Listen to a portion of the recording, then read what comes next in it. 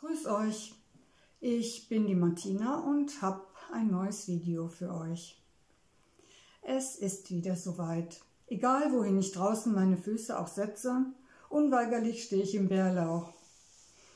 Dass ich nicht nur Ströme, sondern auch Pflanzen liebe, habe ich schon erwähnt, oder? Auch, dass ich sie gerne in Bezug zueinander setze.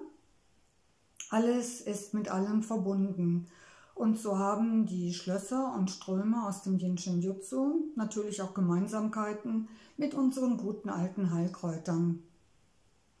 So dass man seine Projekte strömen und dies noch mit einem Heilkraut unterstützen kann. Ich finde das total genial. Geplant habe ich Videos wie dieses hier in Zukunft öfter zu machen, weil mir das total viel Spaß macht. Schauen wir mal, wie das mit der Umsetzung klappt. Meine Pflanzenliebe wurde mir nicht in die Wiege gelegt. Alles begann damit, dass ich vor vielen, vielen Jahren während meiner Ausbildungszeit zur pharmazeutisch-technischen Assistentin ein Herbarium mit 100 Pflanzen anlegen musste. Ich lebte damals mitten im Ruhrgebiet, das für seine Artenvielfalt nicht gerade bekannt war. Einen Garten hatten wir auch nicht, und in den von meiner Freundin durfte ich nur, wenn wir uns nicht gerade mal wieder gestritten hatten. Die gängigen Blumen wie Löwenzahn, Gänseblümchen, Butterblumen, die kannte ich natürlich. Die gab es in jedem Park. Und als Kinder machten wir uns manchmal Kränze fürs Haar daraus und bekamen dann hinterher schrecklichen Ärger, weil der Löwenzahnsaft Flecken in unsere Kleider gemacht hatte. Viel weiter aber reichten meine Pflanzenkenntnisse nicht aus. Fürs Herbarium waren nicht irgendwelche x-beliebigen Blumen zu sammeln. Die Anleitung war schon ziemlich konkret. Sammle und trockne 100 Heilpflanzen, bestimme sie mit Art und Gattungsnamen und gib die wichtigsten Hauptwirkstoffe und ihre Anwendung an. Aus der Aufmerksamkeit, mit der ich fortan jedes Blümlein betrachtete, entwickelte sich nach und nach eine ausgesprochene Begeisterung. Und die hat sich nie wieder gelegt. Was für ein Geschenk, dass ich heute in den Chiemgauer Alpen leben darf, wo es an Heilkräutern nur so wimmelt. Primeln, Hoflattich, Lungenkraut, alles wächst jetzt im Frühling gleichzeitig. Nicht zu vergessen der Bärlauch. Er gehört zu den Lauchgewächsen und liebt besonders feuchte Waldränder. Das intensive Knoblaucharoma, das er verbreitet, kann man schon von weitem riechen. Allen Pflanzen, die Bärennamen tragen, sprach man früher Bärenkräfte zu. Und der Bärlauch zählt zu den kräftigsten Bärenpflanzen überhaupt.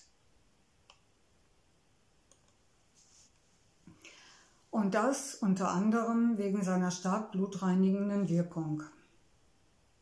Wie du vielleicht weißt, ist im Jinshin Jutsu die Farbe Grün dem Frühling zugeordnet und damit den Organen Leber und Gallenblase und dem Mittelfinger.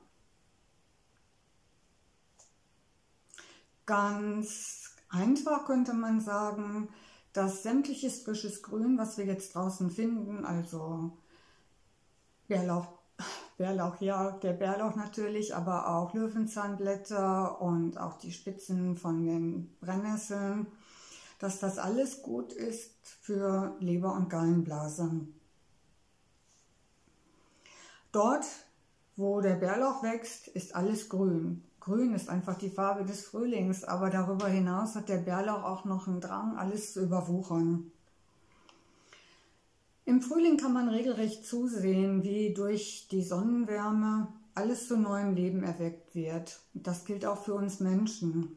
Darum ist jetzt die Zeit der Blutreinigung schlechthin, um den Körper nach dem langen Winter von dem zu befreien, was er nicht mehr braucht. Einer der letzten großen Kräuterheilkundigen, der Pfarrer Künzle, sagte vom Bärlauch, Wohl kein Kraut der Erde ist so wirksam zur Reinigung von Magen, Gedärmen und Blut wie der Bärlauch. Ewig kränkelnde Leute mit Flechten und Hautausschlägen versehen, die Abwehrschwachen und die Blutarmen sollten den Bärlauch verehren wie Gold. Die jungen Leute würden aufblühen wie ein Rosenspalier. Dieses uralte Wissen wurde nun endlich auch bei uns wissenschaftlich belegt. Der Bärlauch enthält nämlich Inhaltsstoffe, die in der Lage sind, das Blut zu reinigen und er entfaltet dadurch eine allgemein stärkende Wirkung. Hier bei uns in Deutschland wächst er besonders im Süden. Also solltet ihr keinen Bärlauch finden oder ihn wegen dem Knoblauchgeschmack nicht mögen, Angst vor einer Verwechslung mit dem giftigen Maiglöckchen haben, da bitte ich euch wirklich, bevor ihr sammelt, schaut noch einmal nach. Da gibt es ganz viel im Internet, eben was die Verwechslungsgefahr angeht. Also beim Bärlauch ist es wirklich so, dass jedes Blatt einen eigenen Stängel hat. Und beim Maiglöckchen kommen immer mehrere Blätter aus einem Stängel. Da schaut bitte nochmal. mal.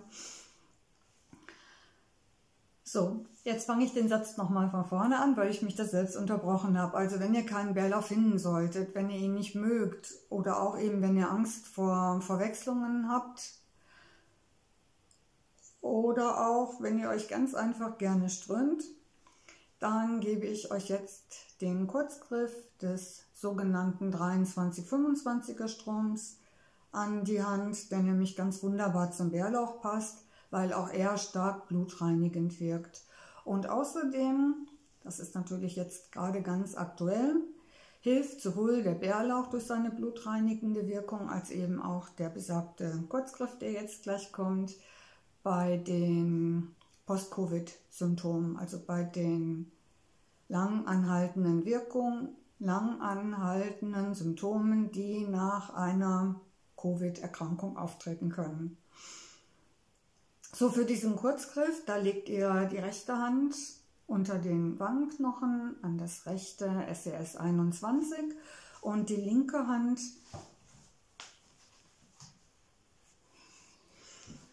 hinten an den unteren Rippenbogen quasi direkt auf die Niere. Für die andere Seite wird das ganz einfach umgekehrt gemacht und was habe ich noch aufgeschrieben? Ja, das war schon. So, nun wünsche ich euch frohes Bärlauchessen bzw. frohes Strömen und wir sehen uns beim nächsten Mal. Servus!